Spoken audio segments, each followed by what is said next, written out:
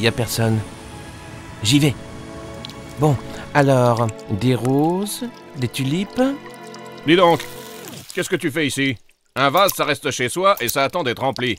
Excuse-moi, c'est pour lui faire plaisir. Son amoureux l'a quitté et, et comme c'est la Saint-Valentin. Ben voyons.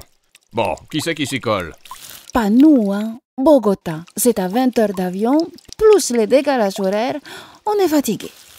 Elles viennent de Colombie Bah oui, en cette saison, il y a que des étrangères ici. Ces glaïeuls viennent d'Inde, ces roses-là du Kenya, ces orchidées de Thaïlande. Elles sont 21 millions à arriver chaque jour en Europe, la plupart via la Hollande. Et nous, au moins, on a poussé en France. Ah, bah c'est plus raisonnable. Tu rigoles? Elles ont du chauffage presque toute l'année.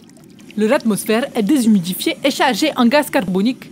Et avec toutes ces lampes qui imitent le soleil, elles ont un bilan carbone six fois moins bon que le nôtre, malgré l'avion. Mais nous, on n'est pas en train de polluer le lac Nivacha, ni d'asphyxier nos jardiniers avec des produits toxiques. Oh là là Il n'y aurait pas de simples fleurs des champs, des, fleurs de jardin Si elle peut l'attendre jusqu'à Pâques, son bouquet, on trouvera une solution. Bon, bah, je vais me débrouiller. Je vais lui apporter des bonbons, parce que les fleurs, c'est pas toujours de saison. Pom, pom, pom,